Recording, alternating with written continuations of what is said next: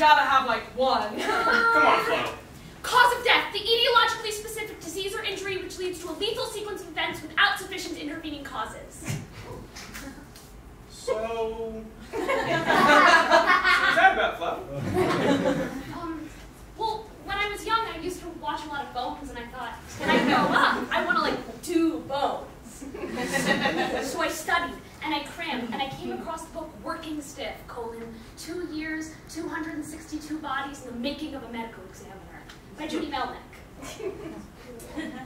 Why? Because they wanted to do bones. They said that already.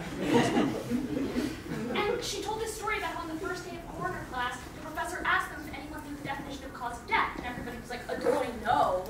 Not following. And I was really not cool in high school. Following? So I thought, hey, if I memorize the definition of cause of death, and they ask on the first day of coroner school, and I know it, then everyone will want to be my friend.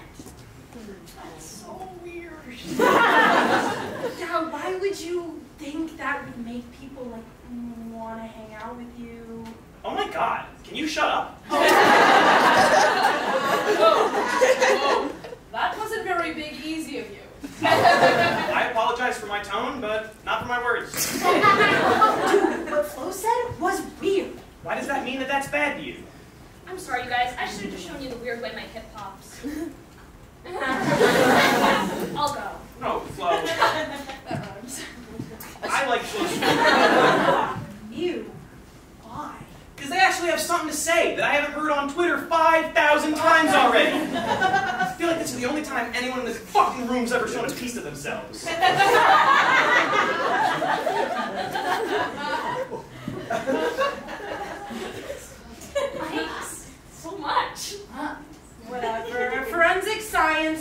weird. Dead people are gross, and I'm leaving. Macintosh?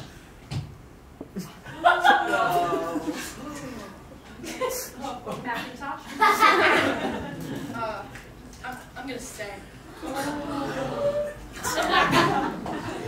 So, uh, Flo, you got any more cool stories from high school? Yeah, I got any other dope shit to say?